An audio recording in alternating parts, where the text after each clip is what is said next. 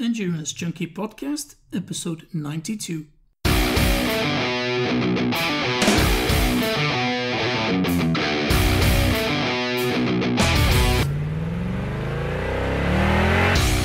junkies, what's up? Thanks for joining me on a new episode of the Endurance Junkie Podcast, the show where I will be interviewing some of the fastest, smartest, and most inspiring people active in the endurance world today.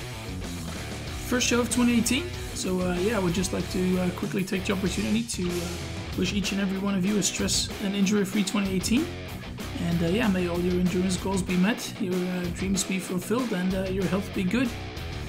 Um, yeah, I think we're kicking off 2018 with a, a great guest. We've got Terenzo Bozzone on. But before we get going, I would just like to let you know that if you like these little interviews and you don't want to miss any future episodes, you can just uh, head over to iTunes or Stitcher and simply subscribe to the show. I would also like to thank uh, each and everyone who has left a rating and review there. That's much appreciated. And uh, yeah, if you haven't done so yet, please consider leaving me one. And uh, yeah, see it as a, as a New Year's gift. Alright, Terenzo Bozzone. Uh, he's a professional triathlete from New Zealand, and uh, yeah, he races primarily in long-distance, non-drafting events. He's known as the hardest working man in triathlon, uh, queuing up back-to-back races and seemingly getting better and better with each one. Now, since his best ever finish on the Big Island uh, with the sixth place, he has been on a bit of a roll, uh, winning 70.3 Los Cabos. he had a very close second place finish at the Island House Triathlon, a second place finish at 70.3 Bahrain, and then a, very successful defense of his Ironman Western Australia title. So, hi, Terenzo, thanks for, uh, for coming on the show. Yeah, we're taping this on December 26th, so yeah, how has your Christmas been and uh, how has your holiday been so far? Cheers, Peter. Uh, yeah, great, great to be on the show. Um, it's yeah, it's been good. It's about uh, this is the start of my fourth week after my last race, so fourth week of off, season, and been having a great time with the family. We had a we had a good Christmas in Auckland, and um, we've just come over to Waiheke Island, which is a 30-minute ferry ride out of out of Auckland City, and uh, that's where my my wife's parents live. So, just spending a bit of time here in the in the sun and on the beach. So, looking looking forward to another week of of downtime. Yeah, is that your typical uh, yeah off-season uh, routine? There, going back home and, and spending time with the family. Yeah, yeah, we uh, I mean, we, we, we travel most of the year, so so when uh, when we're not traveling for for triathlons it's quite nice just to to spend a bit of time at home and catch up with friends and family, and uh, I guess get on top of housework. Yeah, cool stuff. Um, yeah, maybe we can can backtrack a bit uh, and and talk a bit about yourself first, and for the people that might not know you. Um, yeah, yeah can, cool. can, can, you tell us a bit about your, your sporting background growing up and, and how you got involved in triathlon? Yeah, cool. So I was I was born in South Africa in '85, and uh, yeah, I guess growing up we were my brother and I were into a lot of sports. We did karate, kung fu, soccer, cricket, tennis, uh, swimming. We yeah we, we, were pretty active, both of us, and um, we, we, actually moved to New Zealand in '96 when I was 11 years old, and um, at that stage kind of started focusing more seriously on, on swimming. So the other sports took a took a back back foot in a sense, and um, I yeah we are giving I was given a good good nudge. I was a really good breaststroke swimmer. Um, and uh, one summer when I was 13 years old, we were on holiday and I was wakeboarding behind a boat and uh, I tried to do a backflip and ended up landing on my head and burst my eardrum.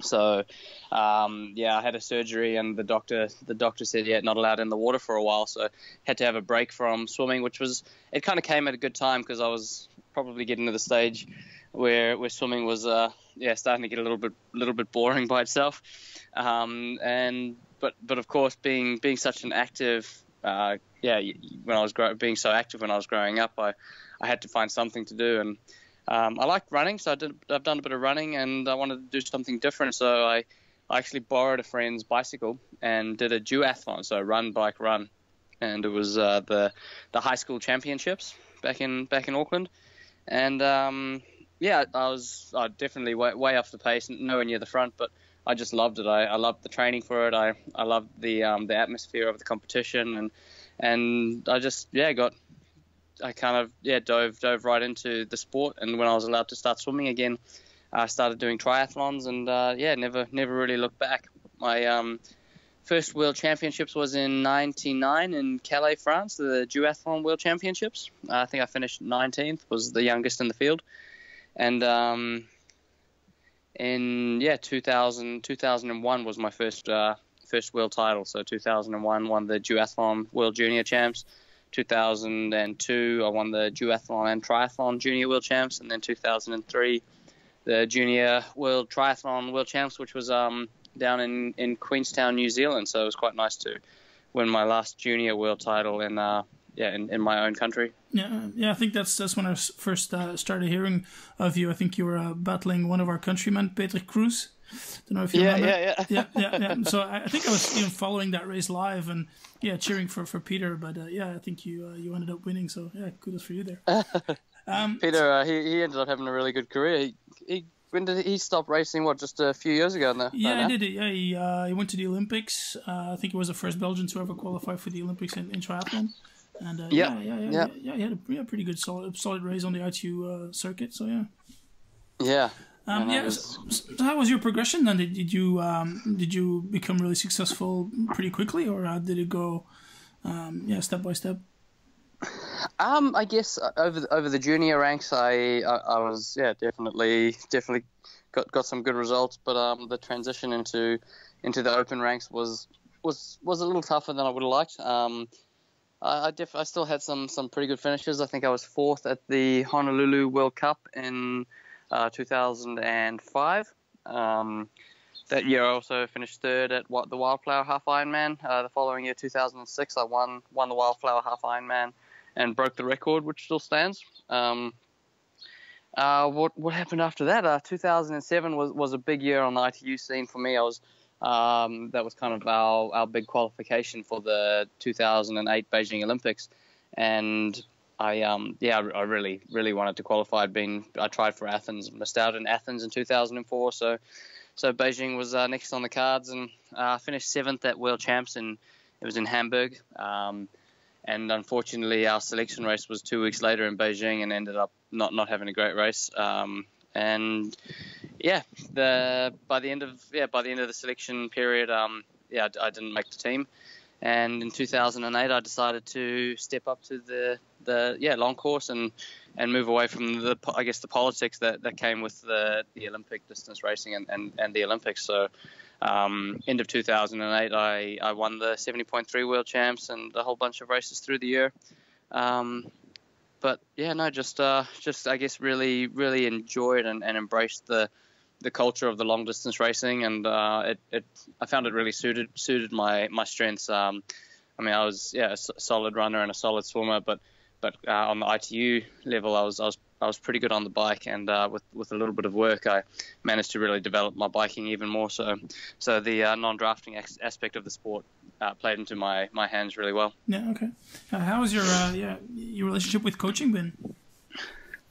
Yes, I've um I've worked with uh, Jon Jon Ackland um, pretty much my whole career. Jon and I've we got teamed up right right at the beginning when I was trying to get dispensation to race my first uh, the 1999 duathlon world championships because because I was too young and uh, the New Zealand New Zealand selection committee said you had to get approval from a coach and and Jon was uh, one of the best physiologists around so uh, that that kind of started our relationship and and we developed from there um just I guess growing and, and achieving goals together um, working with a uh, still working with Jon a bit, and also working with with a, a friend of mine, Dan Plews, um, yeah. who's yeah he's a friend and, and training partner. So we, we get out do a bit of training, and uh, yeah, just uh, yeah he helps me out with a few ideas and, and monitoring stuff. Yeah. So how do you guys uh, pick your races and, and, and build your, uh, your your year plan? Yeah, everything. Um, I mean, everything's kind of based around you have your, your big goals at the end of the year, and then um, which is yeah, Kona of late. Mm-hmm. Um, so so Kona become becomes the big goal, and uh, basically just periodize everything off that. Yeah. Okay. And and uh, every race in between, let's just uh, see what, where you are in the world and, and see where you can fit in. Yeah, yeah. I mean, it's nice, nice to race some of some of the races that, that look after you and, and that you like to do. And uh, of course, with, with good prize money is always good when, when you're racing well. But um, yeah, it needs to needs to really fit into the overall scheme of things. No, okay. Now, yeah, you guys are all pretty pretty active on, on social media, uh, yeah, Twitter and, and, and, Instagram and stuff like that, and um, we see a lot of very nice pictures passing along, um, running along the beaches and stuff like that. Uh, um, so, so, it all looks pretty glamorous. Um, is it as glamorous as, as we think it is? The life of a pro athlete? Oh yeah, yeah. Most of the time I'm flying on a private on my private jet, and Yep. um, yeah, got um, umbrella girls with me before races. um, no, it's uh, when when things are going when things are going well, it's it's uh, it's definitely a, a great lifestyle, and and uh, it's it's a lot of fun because uh, you can. For me, when, when I can uh, ask my body to deliver something and, and it delivers, then then that that's a pretty pretty awesome feeling when you've spent your whole life working towards that. Um, but I mean, let's face it, as, as professional athletes, we we don't win more races than we win. There's there's I mean, on, on average, probably a top athlete's winning three, four, maybe five races a year where they're standing on the line for 12 starts. So it's uh it's yeah. I mean, even even at the at the prime of your career, you're you're not winning winning everything. Um, so so when you do get it right and, and you win things, it feels really good. But but there are a lot of times where where you feel like you're hitting your head against the wall. Uh, I mean, you, you sometimes get plagued with injury after injury, or or get sick, and uh, and just and sometimes things just, just don't don't gel. They uh, yeah, that's, sometimes they just don't don't come out properly. Yeah. How can you make it work with it with a family, you know, a young family like you, you do? yeah, it's uh, so we, we had our second child this year in April, and it's it's definitely been a big learning curve for my wife and I. Uh, especially my wife. My wife works full time. She's got her own own company, um, Bow and Bala. So she um, she basically designs and manufactures jewelry for young girls.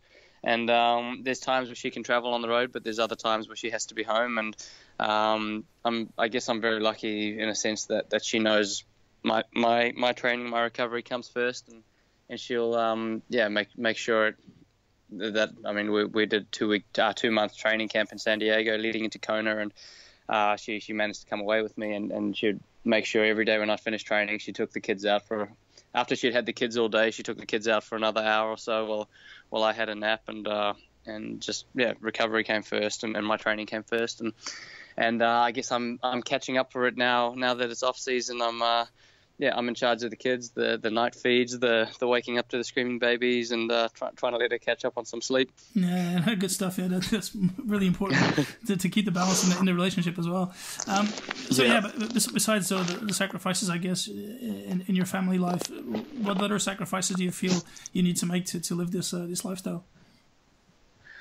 Um, I mean, it's I guess sacrifices in a sense, but it's also f- for me. It, I mean, every everything I do do in my life is is based around, I guess, finding finding that, that peak level of high performance and and um and I guess I've, I've grown. I mean, I, I started when I was 11, 12 years old. I was swimming quite competitively, so so I don't really know the I guess what's on the other side of the fence so much. I've uh, I've kind of always always been been very focused and very determined to achieve my goals, and and um, I mean, I've got, got got a good good group of friends that understand that. They're they're in similar situations, and um, and my wife we've been together 13 years now, so so she she understands that. Um, yeah, probably. I guess there, there are times where, where you want to go out and hang out with your friends and, and party till the early hours of the morning, but um, that's kind of yeah. You can do that once, maybe once a year or twice a year, and even even then it takes me takes me a, a week to recover from that. But um, and I mean, and then with kids, it's it's just just puts makes things a lot tougher. And uh, I mean, just having having two kids who rely fully on you, um, it's uh, yeah, it's definitely definitely an eye opener and uh, and yeah, a cha- change of lifestyle. Yeah, okay. Um, yeah, how how was your 2017 season been? Um, can you talk a bit about that? Yeah, no, it's um. I mean, this, this year started off started off pretty pretty rough. I uh, yeah, just I mean, kick, kicked off the year. I, I, well, I finished 2016 with some with some great form. I broke the Ironman record at Ironman um, W Western Australia record, Yep. and um, and yeah, just uh, kind of started started 2017 hoping hoping I'd be on the same foot, but unfortunately got got quite sick at the beginning of the year, so I had to miss out on Dubai 70.3. Um, Ironman New Zealand didn't didn't go to didn't go to plan. Um, ended up getting injured heading up to the Challenge Championships in Samorin, um, so pulled out on the run. Uh, and had six weeks off running uh, before doing Challenge Roth, which which was not a bad race actually, considering considering the, the month and a half preparation. Mhm. Um, so finished finished fifth at Challenge Roth, and, and that was a really exciting race. It was my first time first time racing there, and Yeah, a pretty race, huh? amazing experience. Yeah. Um, and then came home, uh, picked up pneumonia off my son, Oof. and uh, so I had to pull out of the ITU long distance world champs and uh, 70.3 world champs, and and just put all my eggs in the Kona basket. And uh, yeah, I did Cozumel 70.3 uh, three weeks leading into Kona, and just as a yeah hot race, bit of preparation. The race the race went quite well. Um, it was it was tough, but uh, yeah, managed to get through on the run, take take the win there, and um, and then arrived in Kona and had had my best performance on the island with a sixth place. Yeah, okay. Um, I guess yeah, the rest of the then came home and surprised my wife by saying, "Yep, I think I'm gonna keep racing racing for another month." And um, November and the start of December were uh, what I'd had uh, Los Cabos 70.3, which I Mhm. won, um, the Island House Invitational Triathlon, which a buddy of mine, Luke McKenzie, puts on. Yeah. Um, over in the Bahamas and uh, finished second there by 0.4 of a second in, in the sprint finish to Ben Kanute. Yep. That was a really um, clash of the, the short course distance uh, guys and, and the long course guy. Huh? Yeah, yeah, yeah. Did, did you expect to pretty- do uh, that that good there? No, no. Um, I was, yeah. I guess. I mean, I, I, the last year I finished um, fourth place, Mhm. and I thought, yeah, I mean, if I could, if I could replicate that performance in, in the standard of field that they had there, uh, that would be that would be pretty good. But um, yeah, just just felt stronger and stronger, and and on the last day, uh, yeah, I guess I was I was just in a position where I could I could ask my body to deliver, and, and it just kept delivering. Um, unfortunately, with the lack of uh, short course racing and um, and sprint finishes I've had over the last last decade, I um, kind of didn't didn't go through didn't go through the finishing with the yeah the, the last corner and the and the finish chute. So probably could have positioned myself a little bit better going into the sprint. Mm. But um, well, yeah, no, it was it was uh, although I was second, it was definitely a, a victory for me. Um, from there, went on to Bahrain the following weekend, the second Yeah. place in Bahrain uh, to uh, Kristian Blummenfelt, who yeah first first seventy point three for him, and and man he's he's a strong athlete. He ran through. I mean, I went through 10Ks in about 34 minutes. I think he was through 10Ks in 32 minutes. Um, after after a pretty solid bike, I think he was just over two hours, like two hours and one minute for the 90 kilometer bike. Yeah. Um, so that was yeah, that was that was a cool race. Um, I, I really enjoy racing up there. The, the the flat roads work quite well for me. A little bit of wind. Um, and of course, we're on the Bahrain Endurance 13 team, which with his uh, Sheikh Sheikh uh, His Highness Sheikh Nasser. Mhm. Um, and he ended up qualifying for Kona as well, which yeah, which which is quite nice. So it'll uh, there'll be a be a strong Bahrain Endurance 13 contingency in uh, in Kona. Uh, finished off with uh, the following weekend with Ironman Western Australia, and managed to defend my title there. Um, and that was a great month of racing, and now I'm having a great month of not racing, not training either. Yeah, good stuff. Yeah, so what are the goals for 2018? Everything uh, back towards Kona? Yeah, everything everything's going to be re- revolved around Kona. Um, still, yeah, just just working through working through the plan, trying to decide on on the on the strategy and uh, where we're going to base ourselves and what races we'll tackle on the way through. Mm. Uh, but yeah, but um, definitely felt felt quite happy with my final preparation leading into Kona this year, and and uh, we'll try and try and replicate that and try and get an extra five ten percent out of the body on race day. Yeah, because yeah, yeah, you've competed in Kona quite a number of times. Uh, you've had some uh, some good races there and some not so good races. Have, have you figured out what, what went well this year that that made you uh, yeah get your your best result uh, so far? Yeah, mainly mainly not so good races there. I've um yeah, I mean 2009 I was 11th, 2010 20th, um, and then actually had a had a bit of a, a, a break from Kona and Mhm. um was it 2014 I finished I didn't finish pulled out on the bike. Uh, 2016 pulled out in the energy lab on the run. So so I guess just just went into the race this year with uh, a lot not lower expectation, but just I guess I didn't put the the pressure on myself uh, that I had in previous years, and uh, just I guess the the first goal was to actually finish the race this year, and um, yeah, and it just uh, I guess just gave me the opportunity to race a little bit more within myself. Yeah. Okay. Yeah. So you, you've won obviously a lot of seventy point three races, a lot of Ironmans around the world. Um, what do you have left that you want to achieve in, in, in your career? Winning Hawaii is definitely a big big one on my on my must do list. Mm-hmm. Um, so yeah, if I, I mean, and, and after racing there this year and and uh, just seeing seeing a solid performance, I, I feel it's it's uh yeah it's not it's not a long shot. It's definitely within reach. Um, so just yeah, a few years, uh, hopefully hopefully two three more years of um of good focus and uh, good direction, and I should be able to should be able to achieve that goal. But um, other than that, I, I really enjoy racing. Uh, enjoy enjoy the competitive nature of, of the sport, and um, and just and always just trying to find find that uh, that couple extra percent improvement here and there. Yeah, okay. And you obviously race a lot. Um, how, how, do you guys re- recover from you know these seventy point three races you, you seem to be doing sometimes? You know these blocks where you do like two three uh, in in two three weeks time. Yeah, no, definitely. I, I, think I seem to bounce back from the 70.3 distance races better than better than I seem to recover from uh, short, the shorter distance stuff. Um, I, I, mean, the big big things for me are just yeah, eating well, um, and and sleeping well, trying to get onto time zones as quickly as possible, and uh, and get good quality sleep. Um, and yeah, just just turning over a little bit of light training during the week. So I'll, I'll still train and uh, and do do a reasonable amount, but it'll just be fairly light until the final couple days where where I open up the engine and uh, get race pace going again. Mm, okay. Um, yeah, what's the, the greatest piece of advice that you've received in your uh, triathlon career? Um, oh.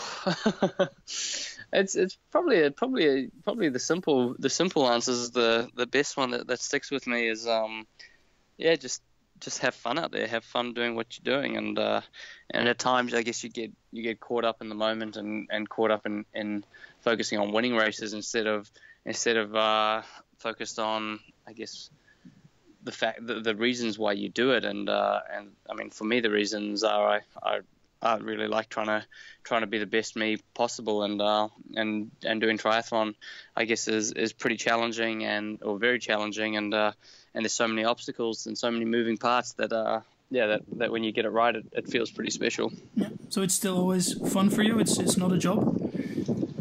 Um, no, no. There's, there's, there's times it feels like a job, mm-hmm. um, and the, and those those are generally the tough times. But um, yeah, but but yeah, there's there's I mean the, the, the majority of the time it's it's a lot of fun. I, I mean even now in my off season I'm still getting out for a couple hours of training a day and or exercise a day. Um, I just yeah I, I, just like the way doing doing exercise makes me feel and. Uh, and I think my wife would probably agree that I'm a much much better person to be around when I do a little bit of exercise. Yeah. So yeah, after your competitive career, you definitely will continue being uh, being active. Yeah, if the body still works, I guess. yeah, okay. You got any plans already? What, what are you going to do after you retire? Um, not too sure. Um, I guess. Yeah. You want to stay within the sport? My, yeah, yeah. I mean, I'd still like to be able to do some something within the sport and uh, and probably something something outside of the sport. But, um, yeah. To be honest, I. I mean, I, I have a few ideas in the back of my head, but I haven't given it too much too much thought. I um, I'm uh, although I have been racing for a long time, I'm only 32 years old, so I've still, I think I've still got a little bit of time, time up my sleeve, uh, so long as the body holds out. Touch wood. Yeah. Okay. So, what do you see as your biggest yeah. achievement in, in, your career so far, and and uh, what's your your biggest disappointment? Um. Uh, I I wouldn't actually. I, I, I don't think I could say there's any disappointments. Um, thinking about it now, I I um yeah, I mean any any bad races or any any uh, any times where where where I haven't done what, what I've what I've set out to do, um, I definitely take that as, as a bigger as a big learning curve. You definitely learn more when you make mistakes. Um, so that, that kind of helps me helps me develop and help help me helps helps me develop into the person I am and the person I'm going to be. Uh, biggest achievement. Um, whew, uh, probably Ironman Western Australia last year, um, 2016, winning that uh, first first Ironman victory.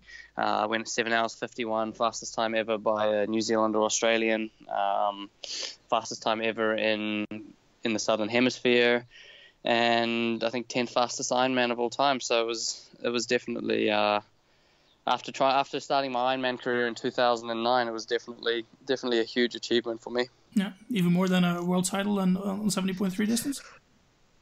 Um,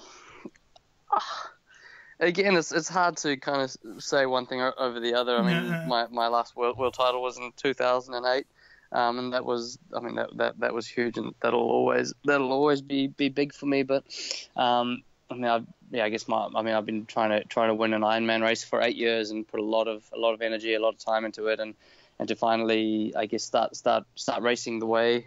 Uh, the way I, I see where, where I see my ability and uh, and and and just learning how to race Ironman is is a pretty yeah pretty big step forward for me. No, no. So you said it. You, you've been racing for quite a long time.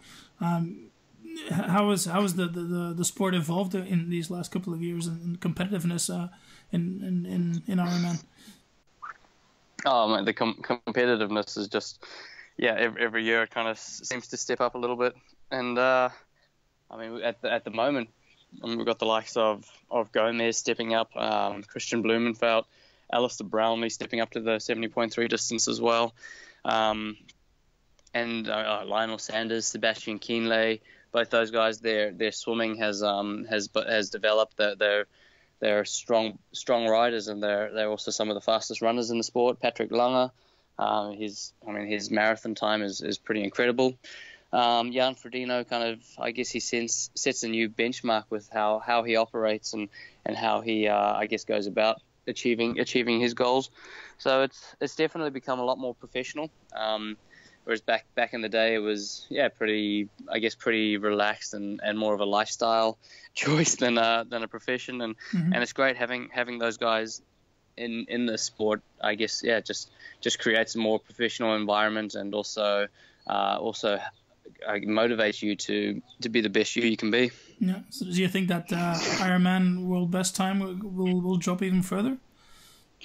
Oh, it's got to. It's um. I mean, yeah, yeah. Well, it, it- it's actually hard to say. Like with uh, what what did Jan go in Roth uh, last year? He was uh, seven thirty five. Yeah, like um, it's it's hard to see hard to see anything faster than that uh, in the near future. But um, yeah, I mean Tim Tim Don's low seven forties. I think I think on a yeah on a um, on a good course with, with good conditions and uh, and and and good competition. I think uh, I think that's definitely with within reach. Yeah, yeah, you definitely see that sub eight is becoming quite a bit of a standard uh, these days to win an Ironman.